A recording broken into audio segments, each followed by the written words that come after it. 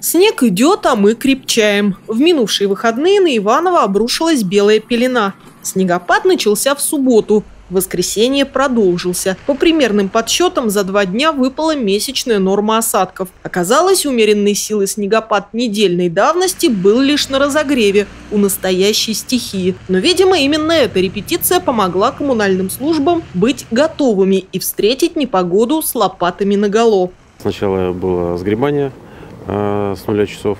Э, с 4 часов 30 минут э, происходило обрабатывание дорожного, дорожного полотна противогололедными материалами. Дальше было задействовано два погрузчика и 9 тракторов на удаление снежных навалов с улиц города. 6 бригад вывозили снег а, с улиц города. Это 39 единиц техники. А, вывезено более 2300 кубометров снега. Конечно, совсем без потерь в бою с непогодой не обошлось. В первую очередь снегопад стал проблемой для водителей. 26 и 27 января в городе Иваново было зарегистрировано 30 дорожно-транспортных происшествий с материальным ущербом. То есть это те ДТП, где а, вред причинен только транспортным средством, а люди не пострадали.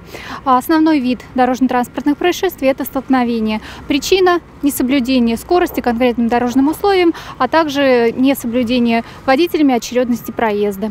Как всегда, наиболее непроходимыми после снежного уикенда были и остаются дворы и частный сектор. В последний техника направится после того, как будут убраны наиболее значимые участки города. В первую очередь обрабатываем пешеходные переходы, э, перекрестки важные, остановки общественного транспорта э, и подходы к социально значимым э, организациям. В первую очередь главной дороги и дальше по убыванию значимости. И, конечно же, техника э, будет направлена на уборку э, частного сектора и на э, второстепенные дороги. Придомовую территорию, не дожидаясь милости управляющих компаний, многие ивановцы приводили в порядок своими силами. Хотя эта услуга входит в коммунальные платежи. Сейчас комиссия муниципального жилищного контроля проверяет зимнее содержание дворов. О бездействии управляющих компаний жители могут сообщить по телефону горячей линии 26 25 42. Дальше компаниями-нарушителями займется Госжилинспекция. Наталья Гутарина, Денис Денисов, РТВ Иваново.